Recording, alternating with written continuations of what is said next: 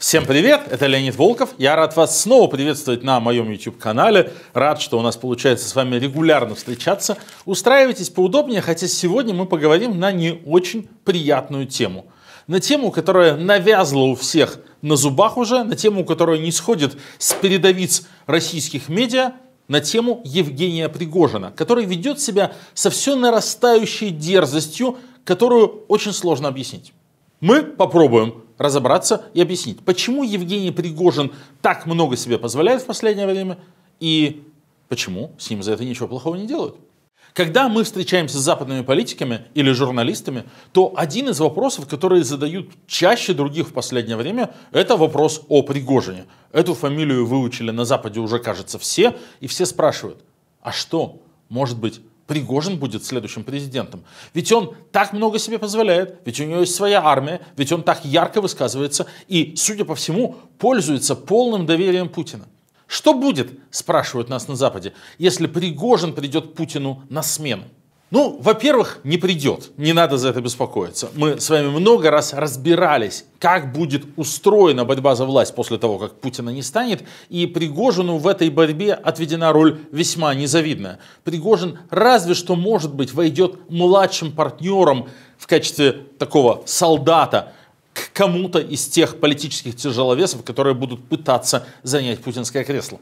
Дело в том, что у Евгения Пригожина нет никакого официального статуса, а официальный статус имеет очень большую роль. Он не член Совета Безопасности, не депутат, не губернатор. Он всего лишь бизнесмен. А бизнесмен в России, это знаете ли, сегодня ты есть, а завтра тебя нет. Сегодня ты получаешь выгодные контракты от Минобороны, от того же самого Шойгу, которого ты посылаешь матом теперь уже каждый день. А завтра не получаешь. И нет больше твоего бизнеса. И не на что тебе содержать твою частную армию.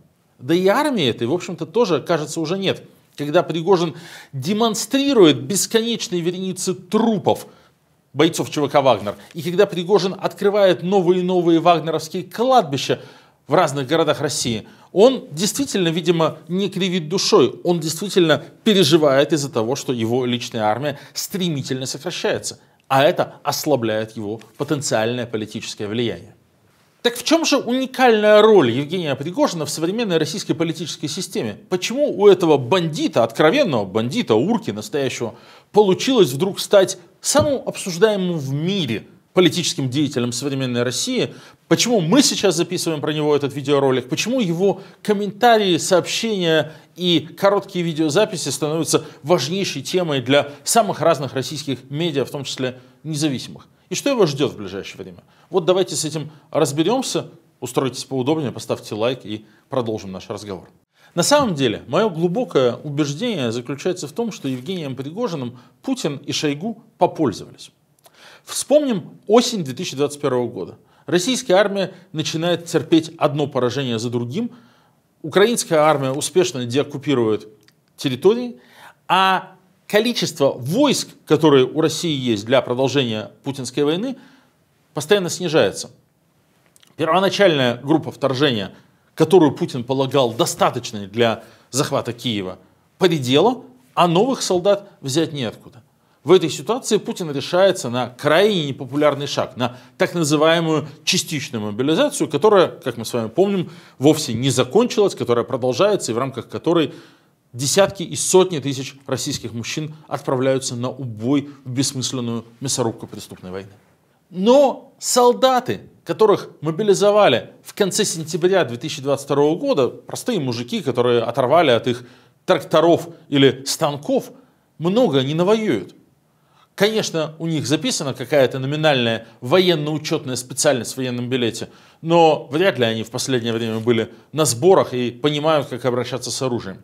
Отправлять их на передовую немедленно, ну, означало бы просто впустую их потратить. А на передовую кого-то отправлять было надо. Фронт трещал по всем швам.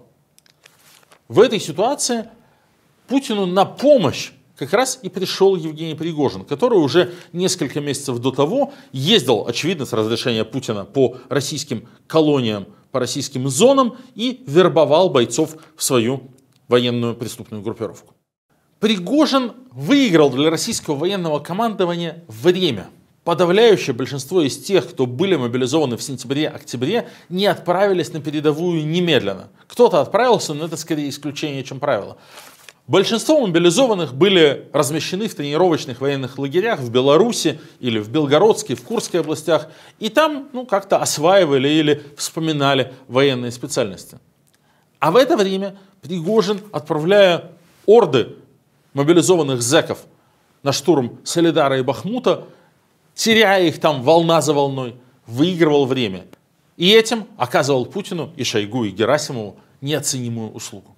Помните, в середине конце февраля этого уже года в соцсетях каждый день стали появляться видеообращения мобилизованных или их родственников.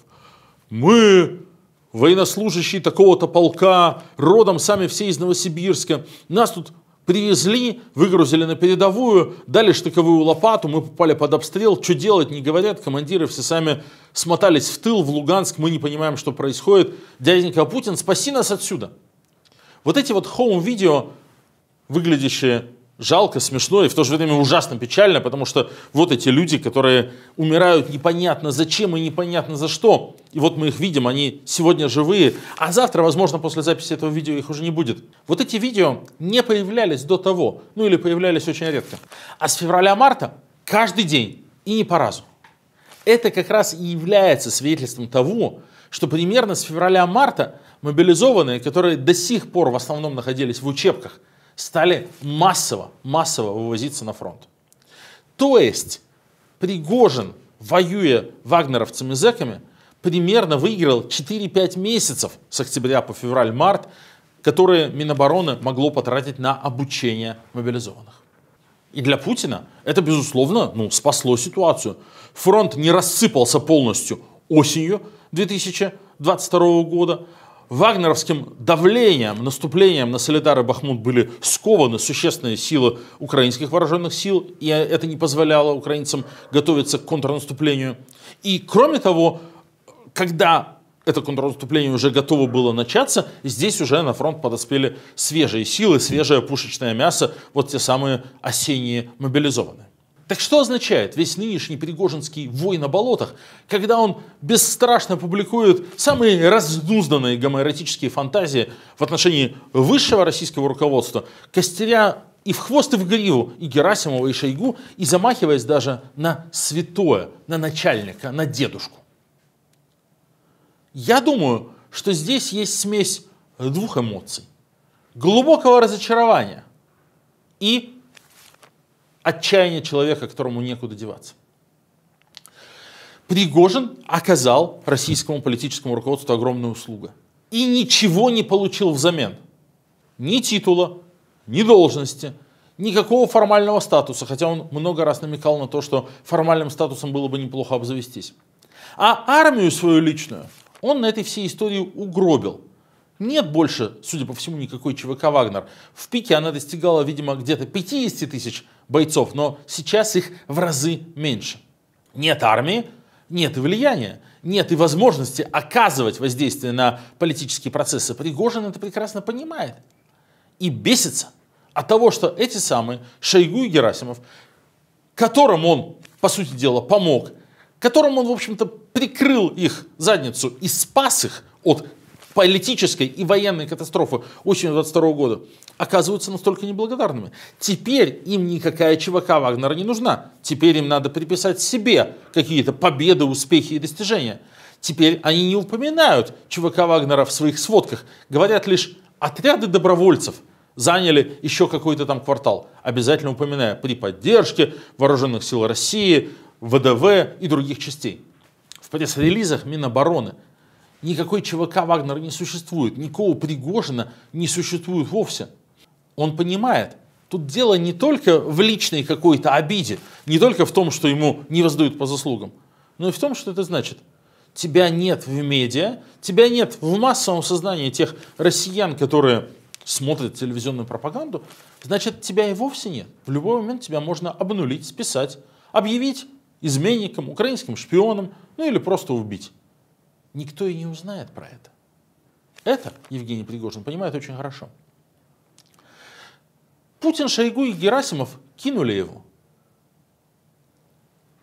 Путин, Шойгу и Герасимов попользовались им. И Пригожин осознает, если он просто примет это как должное, замолчит и будет вести себя тихо, то его ценность будет абсолютно нулевой, и в какой-то удобный момент его просто спишут. Его не станет. Ну, скажут, подорвался герой России на украинской мине. Ах, какая жалость. Поэтому нынешняя риторика Евгения Пригожина кажется мне, с одной стороны, абсолютно отчаянной. Он позволяет себе вещи совершенно непозволительные. И в Кремле явно эта риторика не встречает одобрения. А с другой стороны, в значительной степени это такая штука рациональная. Он пытается через обострение, через публичный конфликт привлечь к себе внимание и набить себе цену. В своих видео, в своих матерных филиппиках, в своих речах, в своих ответах для СМИ Пригожин, по сути дела, говорит одно и то же. Владимир Владимирович, я для вас все, а вы мне ничего. Да ваши Шойгу и Герасимов, бездельники и лодыри попользовались мной. Дайте мне новое задание. Дайте мне новый участок фронта, дайте мне новых людей, заключенные-то кончились, и новых взять неоткуда. А вы мне дайте новых, и я вам еще пригожусь, я вам ух еще покажу. Обостряя и нагнетая, Пригожин ставит Путина в неудобное положение. Путин не любит, когда на него давят, когда его шантажируют, когда его загоняют в угол. Но с другой стороны, Путин очень не любит и публичных конфликтов. И ставка Пригожина, безусловно, рассчитана на то, что в какой-то момент Путин скажет, пусть помолчит, а? Проблем-то уже хватает. Дайте ему, что он хочет. Пусть там дальше воюет, только пусть перестанет ныть. Пусть помолчит. Пригожин рассчитывает, что ему дадут снаряды, дадут людей, дадут набрать каких-то новых людей. Или под его командование отдадут какие-то части. Ну и он будет воевать дальше, а там уже как сложится. Может какие-то возможности и представятся. Это очень рискованная стратегия. Вероятность таким образом реально нарваться на пулю, нарваться на серьезный отпор со стороны того же Минобороны, который, безусловно, не может не раздражать то, что Пригожин переходит все границы, очень высока. Но все-таки не 100%. А если молчать, то вероятность сгинуть равна ровно 100%. И Пригожин именно как опытный урка, как закоренелый бандит, который хорошо понимает именно эту бандитскую логику, это он прекрасно осознает. Так что, я полагаю, Пригожин повышает ставки намеренно. Вся его эта истерика, вся эта его медиаактивность, все его эти матерные речи хорошо продуманы и просчитаны. Адресат у них один, его зовут Владимир Путин. И расчет у него на то, что Путин ему что-то даст и каким-то образом все-таки благодарность выскажет. Ну а прогноз для Евгения Пригожина неблагоприятный. Я, честно говоря, думаю, что Путин его уже списал, его уже кинул и решил, что Пригожин больше не нужен. Ну да, тот поддержал для него фронт 4-5 месяцев, тот залил кровью зеков окопы под Бахмутом и Солидаром. Спасибо, гуляй, больше нам от тебя ничего не нужно. Так что мой прогноз остается прежним, я уже как-то его высказывал в рамках лучшей передачи о политике. Повторю, Пригожину осталось буквально несколько месяцев, потом с ним произойдет какой-нибудь несчастный случай.